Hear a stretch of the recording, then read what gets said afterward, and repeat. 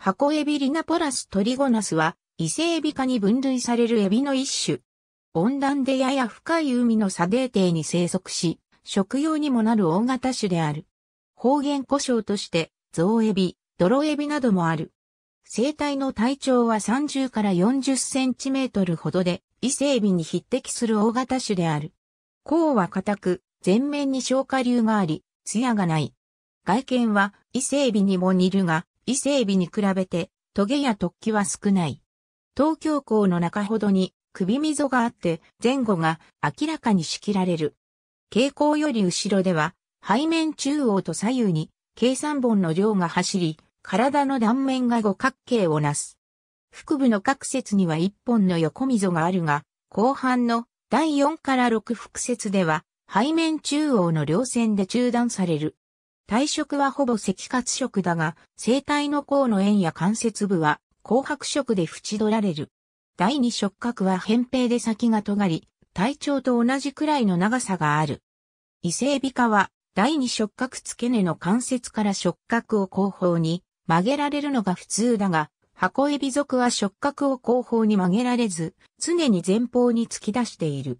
第二触覚の間に細く短い第一触覚がある。また、メスは第五補脚の先端に小さな剣を持つ。俗名、リナポラスは、異性美族パニュリラスと同様にヨーロッパ異性美族パリネラスのアナグラムである。種商名トリゴナスは、三つの角を持つという意味で、背面の産業にちなみ、和名もまたその角張った体型が箱を想起させることに由来する。英名の一つ、ジャパニーズスピアロブスターは、前に突き出た触覚を槍に見立てたものである。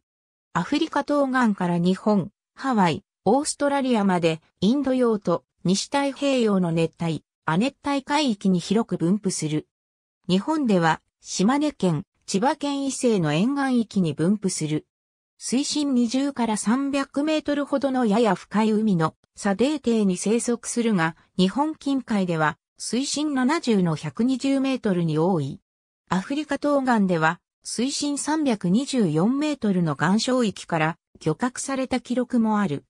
日本では刺し網や底引き網などで漁獲され、食用になるが、伊勢海老や内輪エビほどの漁獲量はなく、市場に出回ることは少ない。箱エビ属リナポラスには4種が属する。ありがとうございます。